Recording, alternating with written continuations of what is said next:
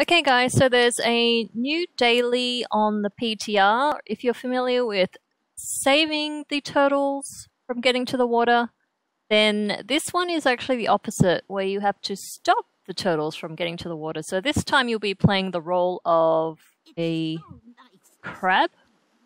And you you can see you can only move in two directions, left and right. So, ooh. Avoid the swirlies. You end up with the crab. Oh, oh! On your back, and then you can actually use it to knock out turtles coming up the path. I'm not sure about taking out the turtles. Ah! Man! Wait. Oh, this is a cumulative effect. So if you fail, then it actually adds on from the previous attempts. Okay.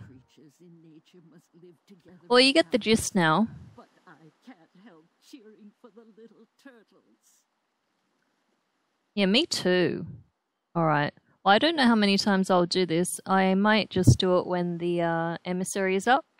But until then, let me know what you think of this one.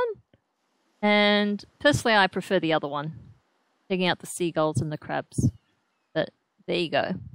As usual, thanks for watching, and I'll see you for the next video.